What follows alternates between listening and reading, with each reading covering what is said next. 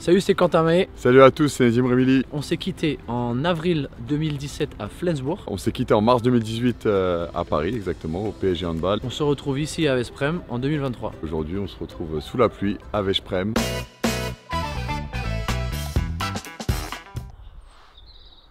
Et quelle heure? 6h37. Histoire de bien se réveiller, d'être bien dans ses baskets. Ça va toi Toi Pas trop dur le réveil Bah, Écoute, on fait avec. hein.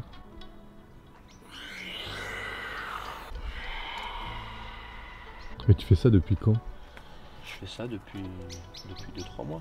Ça me prend un peu moins la tête quand il y a des trucs qui, qui me prennent la tête comme ça pendant la journée. J'ai l'impression de, je sais pas, de mieux les, en- de mieux les encaisser. C'est quand, quand le coach il te prend la tête ou quoi, des trucs comme ça quoi. Ouais. Accepte le froid. Vrai. Accepte-le. Il est là.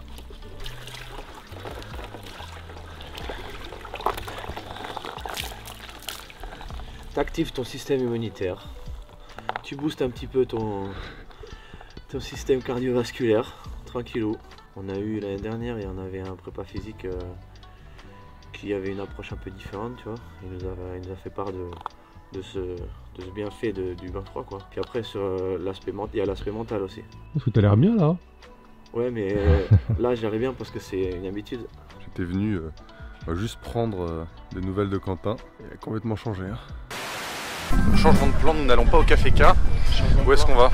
On va au, au Fresh Inn, ça s'appelle Fresh. Fr- fr- fr- fr- fr- Fresh Inn. Donc pour le coup, c'est de l'anglais quoi. D'accord. On est à Balaton-Foured, à 20 minutes de Vesprem, sur les rives du lac Balaton. Parce que dis-toi qu'il y a ma fille qui vient, fille qui vient avec moi de temps en temps. 5 ans et demi, elle me dit papa, je veux venir avec toi aussi. Puis elle fait pas les choses à moitié, en plus elle rentre, et elle rentre une fois, elle rentre une deuxième fois, et après elle me fait regarde ce que je sais faire. Et elle met toute la tête quand même. oui. Ouais, t'as un petit joueur à côté.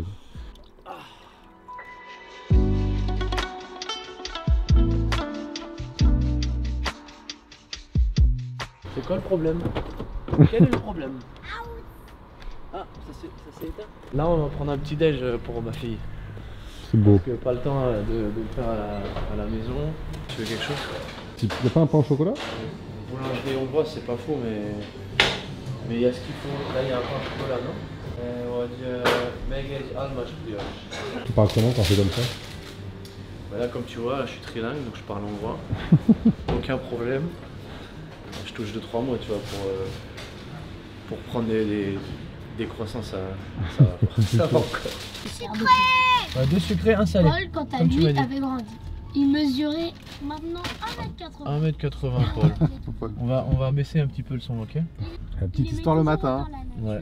Hein, Roméo, c'est pour toi, ça, mon pote. Quand tu regarderas l'épisode, on t'écoute tous les matins. À quel âge Vida 5 5 5 On la montre pas. Non, on montre pas les enfants. Alors, c'est bon ou pas? Petit croissant là derrière. Kifli, les kifli, c'est les petits, c'est les croissants. euh, C'est les croissants hongrois.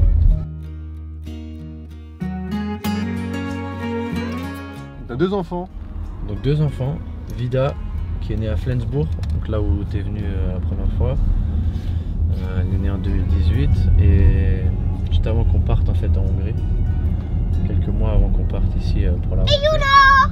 Ouais, et Yuno, c'est ça. Son frère qui s'appelle Yuno qui est né à Düsseldorf euh, en fin, de, fin 2020. Il y a un peu une histoire, NBA un peu une histoire NBA avec, avec, avec euh, mon fils. J'ai- Je l'ai pas, je pas vu naître mon fils. Ah ouais? Non, j'ai pas vu net parce que j'étais ici, euh, on s'entraînait, on se préparait pour le Final Four de la Ligue des Champions qui était fin décembre. Ça va, Vida? Et, en fait, le club, ils ont, ils ont des contacts avec une compagnie aérienne euh, pour des vols privés. Et au milieu de la nuit, ma, femme m'appelle comme ça, euh, euh, début décembre, et me dit bah, Ça y est, je, suis à, la clinique. Et donc, moi, j'appelle cette fameuse femme qui était en contact avec le club. Elle me dit T'inquiète pas, je réveille les, pilotes. Je fais Ah ouais Les pilotes, carrément, on réveille les pilotes quoi. J'ai deux pilotes pour moi. C'est ce qui s'est passé. Je suis arrivé dans le petit terminal à côté de l'aéroport. Euh, tu montes ton passeport, pam, j'étais dans l'avion. Pire vol de toute ma vie. Ah ouais Oh là là. Pourquoi Bah, ça a secoué pendant deux Ouais. heures. Et moi, je, je pensais y arriver, tu vois. Je pensais arriver euh, à temps à, à- à la naissance. fin de compte, quand, quand on atterrissait, j'ai remis, euh, j'ai enlevé mon, le mode avion et, euh, et ma, ma femme m'a envoyé les premières photos de, de. T'as tes petites habitudes Toi, t'as pas le temps de faire ça.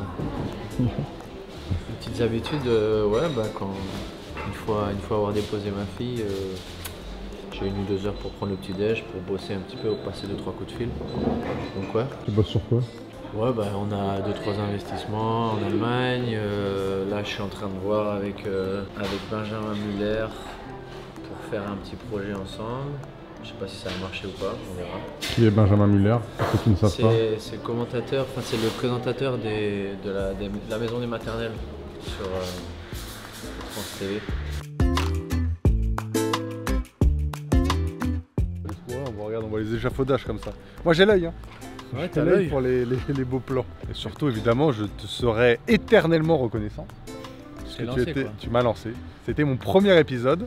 Déjà, j'aimerais savoir pourquoi tu as accepté. J'ai bien aimé le projet, je me suis dit écoute, euh, vas-y, lance-le, le petit jeune là, euh, pourquoi pas, il a les, il est couillu de, de m'écrire, de me demander, de me lancer, de, de se lancer dans ce projet-là. Tu m'as dit que c'était en freelance, que tu étais à, ton compte et que tu voulais, euh, tu voulais te lancer dans, dans ce projet. Du coup, bah, je me suis dit vas-y. De toute façon, on était en couple avec Francie, on avait un grand appart. On n'avait pas d'enfants Pas de encore, du coup pas de chambre d'amis encore, mais bon, on a... ouais, t'as dormi par terre à l'époque. Là, là t'es un petit peu mieux là maintenant. Je vais aller me coucher et je vous dis à demain.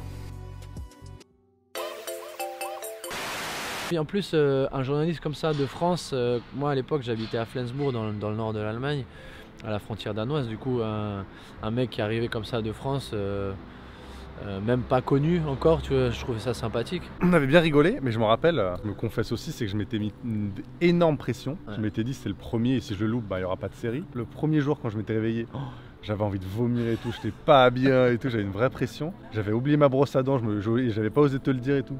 Que je me brossais les dents avec mon doigt et tout, enfin, c'était une catastrophe. Pourquoi es-tu venu ici en Hongrie à Veszprem À l'époque, je crois que quand tu étais venu, j'avais déjà signé là-bas. Ouais, je crois que. Euh, Ça avait peut-être pas encore été officialisé. C'était euh, une opportunité euh, qu'on refusait pas, quoi, parce que j'avais eu une proposition, une proposition super intéressante. Et, euh, et ce club-là, en fait, il, il est capable de, de gagner la Ligue des Champions tous les ans. C'est pas encore le cas, on n'a pas encore gagné. Euh, malheureusement, ce club-là, il court après ce titre depuis euh, un certain temps. On a, on a fait déjà quatre, euh, quatre finales euh, de Ligue des Champions sans en gagner, mais en tout cas, on, voit qu'il y a la qualité dans, cet effectif et, tout, ce qui se fait autour du club en fait fait que euh, qu'on est dans les meilleures conditions. Et depuis, bah, j'ai re-signé deux fois. J'avais un contrat de trois ans au début. Euh, à l'issue de ces trois ans, j'ai re- re-signé deux ans. Et puis, euh, à l'issue de ces deux ans, euh, j'ai re-signé un plus un. Et là, je suis dans ma première année de ces, de, de ces 1 plus 1. Et notre fille était née 2-3 mois avant, d'arriver ici en Hongrie, donc ça c'était un beau challenge aussi en tant que famille. Depuis maintenant on a déménagé, avant on habitait à Vesprem, donc là où se situe le club. Maintenant on est sur le lac Balaton. Pareil, on est dans des conditions euh, idéales et on, sent- on s'y sent vraiment à l'aise. Je ne l'ai pas dit, mais c'est un épisode 2 en 1, puisque on va également revoir Nedim Remili. Que deviens-tu, Nedim Avec qui j'avais tourné un épisode en mars 2018, donc juste un an après Quentin. Et les deux jouent ensemble, puisqu'il y a quatre Français ici à Veszprem, avec Hugo Desca et Ludovic Fabregas en plus. Hop là, fini, on Mm. enlève. On arrive à la salle. Donc c'est salle d'entraînement et salle de match, c'est ça? C'est ça. C'est ça Bienvenue, bienvenue Bienvenue. dans la. Arena.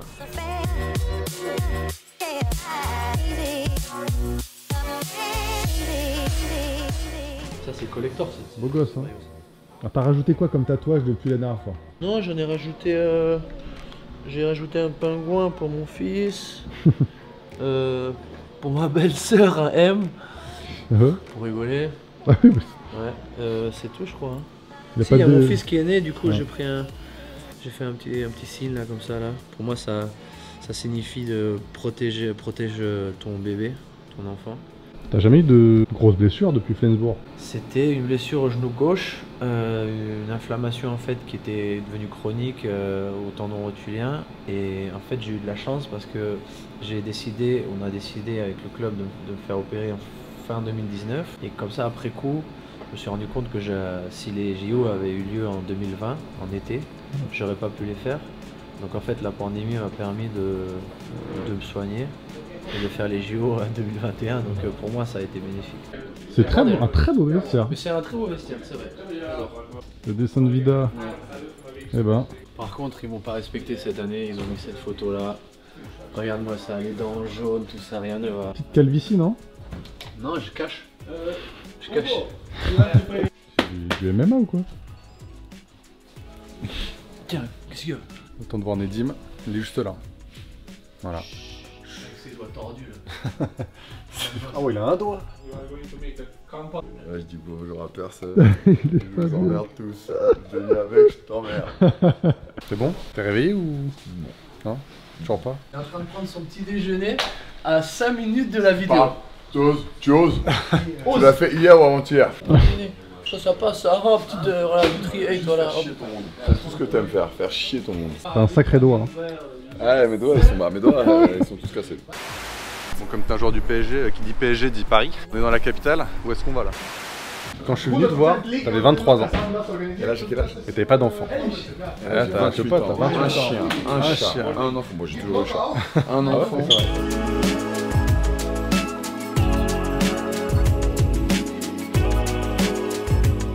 Malheureusement, le DJ de l'équipe est catas- cataclysmique.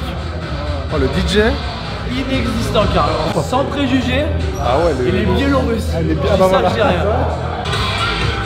On fera le son au montage. hein. Il y a une, chose que tout le monde doit savoir, c'est que là, lui, il fait le mariole parce qu'il pense que ah, la muscu et tout ça, c'est moi le plus beau. hein. Là, la vérité, c'est que Quentin Maé reste plus longtemps en muscu que Nedim. Bien. Ah, celui qui, a- C'est celui, Quentin Maé. celui qui aime le plus son corps, c'est Quentin Maé. Celui qui travaille le plus en termes d'efficience, c'est moi. Mais le- celui qui aime le plus son corps, bah, c'est la vérité, je suis pas menteur. Quel mytho. Par contre, celui qui passe le plus de temps au gym, c'est lui. Après, moi j'ai un corps en balistique, lui il a un corps euh, de beach. Et voilà, comme toujours, avec de nuit avec, au plus près du terrain. Je suis vraiment très très très très content d'avoir retrouvé Nedim et Quentin. Parce que Quentin, comme on l'a dit, c'est évidemment mon premier épisode, donc c'est lui qui, m'a lancé en quelque sorte, à qui je dois tout. Et Nedim, c'était juste un an après, donc c'était quand même euh, très récent, il m'a aussi fait confiance ça avait été un super moment à Paris.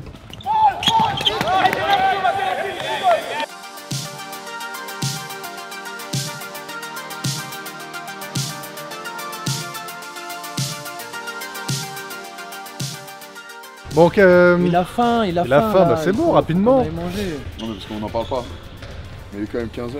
qu'est-ce que ça fait de se retrouver avec 4 Français à l'étranger?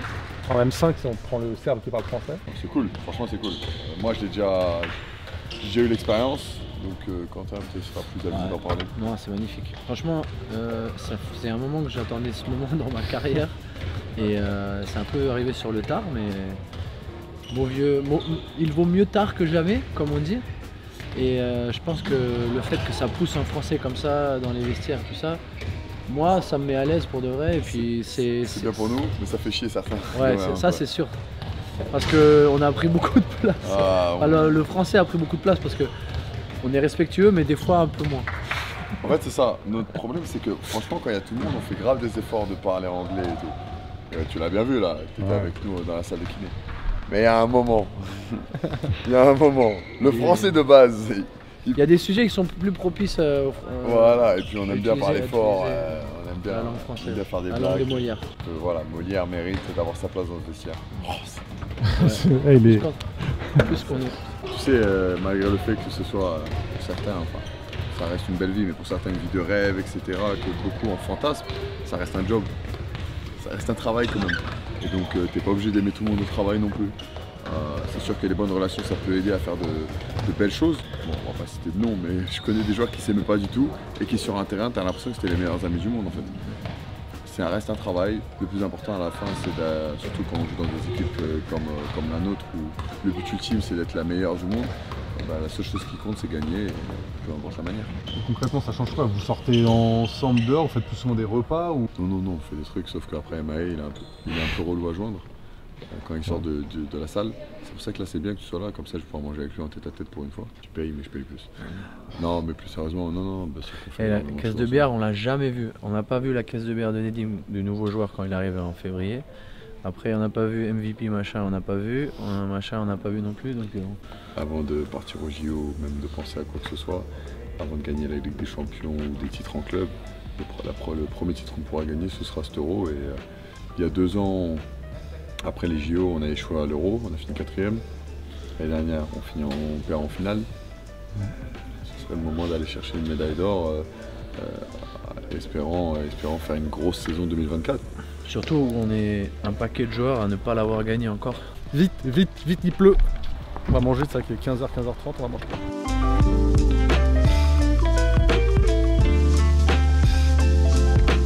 Pourquoi t'habites à Veszprem, Nedim? T'as pas choisi euh, Balaton Fourette? J'habite à 45 minutes d'ici. Voilà. En fait, ce qu'il faut savoir, c'est que Nedim, c'est un casanier de chez. Casanier. Donc, c'est pas grave, il n'y a pas de jugement. Je pense que. que tu peux pas me dire ça en fait. À la base, je suis casanier. Non, mais t'as un, t'as un un chien. chien, tout ça. J'ai un chien et un enfant. Alors là, Oui, euh, oui. sache que je suis dehors. hein. Le lac, c'est une ville fantôme. La deuxième, euh, tout se passe ici. Moi, j'habite là au centre-ville, dans le centre-ville. J'habite derrière la mairie. Je suis deuxième maire de la ville. Tu dis ça comme si Vesprem c'était un truc de ouf. Bah, en, compa- en comparaison avec Furette, t'as l'impression que Veszprem, c'est euh, Budapest. Ouais, c'est vrai. Euh, Veszprem, c'est euh, c'est le quartier Est de Créteil. C'est-à-dire que je sais même pas s'il y a un quartier Est. Je crois que même dans le quartier Est de Créteil, il y a plus de gens à- au mètre carré à- dans la journée qui marchent dehors que. Euh, non. Est-ce que vous vous voyez vieillir? Que là, quand je vous regarde, vous avez l'air marrant dans le petit écran tous les deux comme ça, euh, papa et tout. euh. Moi, franchement, je ne vois pas vieillir. Moi non plus. En fait, on se voit vieillir par rapport aux enfants, ouais, ça oui. Ouais. Tu sais, quand les enfants ils commencent à grandir, ma, ma fille elle va rentrer à l'école l'année prochaine, tu te dis, waouh. La chance de faire du sport aussi, c'est que tu es toujours, euh, tu sais, t'es toujours branché euh, avec des gens soit de ta génération ou des petits qui arrivent aussi. Du coup, tu es toujours euh, dans, la- dans l'air du temps, entre guillemets.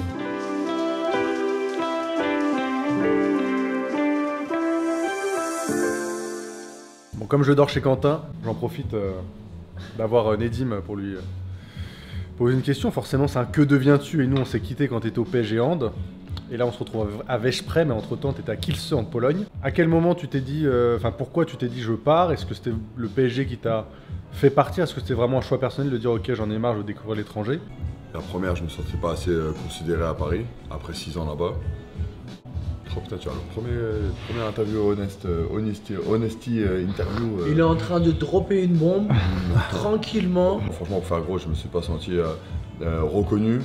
euh, après 6 ans là-bas. De l'autre côté, euh, j'ai eu une offre de Kielce qui était très alléchante, euh, un projet qui était incroyable. J'ai rejoint l'équipe vice-championne d'Europe en titre. Puis au bout de 6 mois, eh ben, malheureusement, des problèmes financiers en Pologne à. Et il, a fallu, il a fallu me vendre et euh, on a trouvé un accord à trois, j'ai envie de dire un accord commun pour, pour les trois, pour les trois parties, euh, Veszprem et moi. Et, et aujourd'hui, je suis très heureux d'être là. Pour ton départ à Kielce, c'était euh, une obligation de te vendre toi Est-ce qu'ils sont pas allés voir les joueurs en disant voilà, faut qu'il y en a qui partent, euh, qui veut être le bon samaritain? Dix jours après le mondial, je suis, bah, je suis rentré pendant 10 jours en Pologne et je suis resté 10 jours chez moi. Interdiction de sortir, peur de, de se blesser ou de tomber malade et d'annuler le contrat.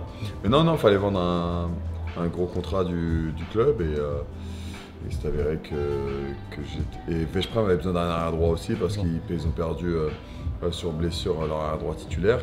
Euh, du coup, bah, il a fallu que ce soit moi qui parte. J'ai passé six mois dans ce club et pour autant, euh, on y est retourné d'ailleurs au quart de finale retour et ils m'ont accueilli avec encore une fois beaucoup d'amour, beaucoup d'affection. Donc Quentin s'est endormi. hein.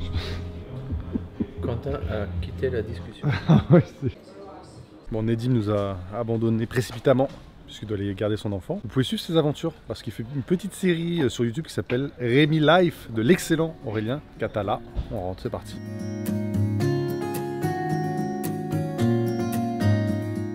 Mais là, il y a mes enfants qui sont en train de faire n'importe quoi comme d'habitude. Ah. Papy, donc j'essaie de lui dire que pa- c'est papy, c'est opa en allemand. et- Salut ma belle La séquence romantisme, Ouais. quand un mec qui prend des fleurs pour sa femme.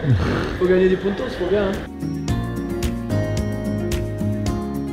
Qu'est-ce que t'es en train de foutre Dur. T'es en, train de te moquer de mon, de mon, de mon bouquet de fleurs là Du coup, c'est toi qui me fais à manger ce soir. Ouais, on va se faire un petit, euh, un petit couscous composé euh, de plusieurs légumes. Je t'aime inconditionnellement.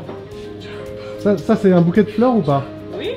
Des branches, Ah oui. des branches d'arbres. Comme le disait Quentin, la dernière fois j'ai dormi euh, sur un matelas parce qu'ils n'avaient pas de chambre d'amis. Et ben là ils ont une petite, euh, ils ont un petit appartement privé en dessous où je loge. C'est magnifique, rien que pour moi. Bon, je vous montre rapidement la cuisine, les toilettes, il y a un petit salon. Et hop, et j'ai accès à ma chambre. Juste ici. Et voilà, c'est atelier cuisine ici, mon pote. Fameux couscous. Taboulé, frère. Ah, voilà. Pas obligé de te curer les dents, on va juste te faire une conclusion, dire au revoir, c'est tout. hein. Le mec, il est trop perfectionniste. Concluons. Bah, c'était juste histoire de, de- de te remercier de, une nouvelle fois de m'avoir accueilli, six ans après. Écoute, Toi qui m'as lancé sur le chemin, le long chemin des reportages. sa jeune carrière de, de journaliste est Ouais. déjà bien remplie grâce à nous. Bah, en tout cas, ouais, t'es t'es toujours le bienvenu. Je sais pas si on se hein. reverra euh, dans 6 ans. Je sais pas si qu'on je se reverra avant déjà. Bah, écoute, merci beaucoup, euh, cher Quentin. Puis euh, à bientôt hein, Au plaisir. pour de nouvelles Ouais. aventures.